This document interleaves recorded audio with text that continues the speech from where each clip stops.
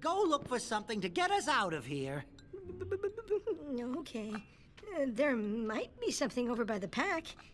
Oh, thank goodness one of us is up there. I was worried we'd be stuck here forever. Ah, I found something. Here. What? Oh, well, that's a lovely flower, Piglet. Yeah, I thought so too. Yes, Piglet, it, it's very nice. Uh, perennial. But I think we need something longer.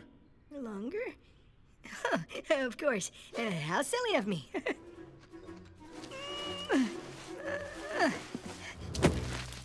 Oh, good thought, Piglet. But you can't possibly think that that's long enough. oh, yes, it is. Uh, Owl read this to me once, and it was certainly the longest thing I'd ever heard.